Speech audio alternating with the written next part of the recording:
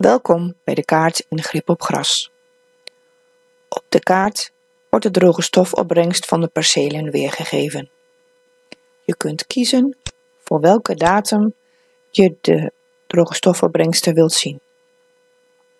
In de legenda aan de rechterkant staat aangegeven wat de droge stofopbrengsten zijn. De droge stofopbrengst wordt weergegeven in kilogrammen droge stof per hectare. Wanneer je de bodemtemperatuur meet, dan kun je deze ook weergeven op een kaart.